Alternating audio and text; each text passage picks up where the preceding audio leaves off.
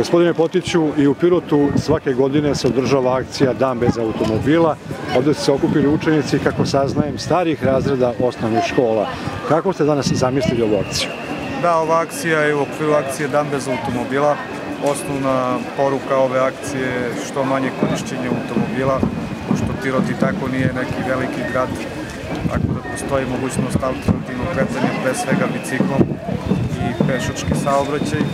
A u okviru to, te manifestacije Dan bez automobila organizovali smo jedno takmičenje u spretnosti vožnje biciklom. Učestvuju deca starije, znači viših razreda osnovne škole.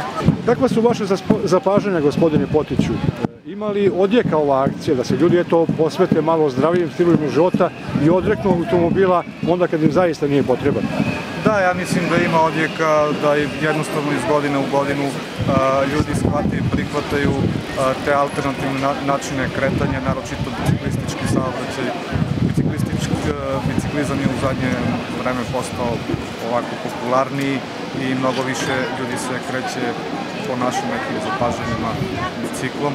Naš je da obezbedimo uslove da to bude što bezbednije i svakako da ovakve akcije daju neki, daju neki svoj rezultat. Grad nastoji da obezbedi dakle, bolje uslove, eto, govori se o stazama biciklističkim, Da li to treba još malo unaprediti?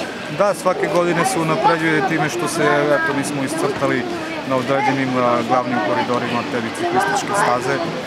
iz godine u godinu sve više nastojimo da obezbedimo taj biciklistički saobraćaj, da unapredimo i tako ćemo i dalje da radimo, a nadam se da će građani da shvate, da, ovaj, da shvataju da je mnogo zdraviji način kretanja biciklom i u ostalom je i jeftiniji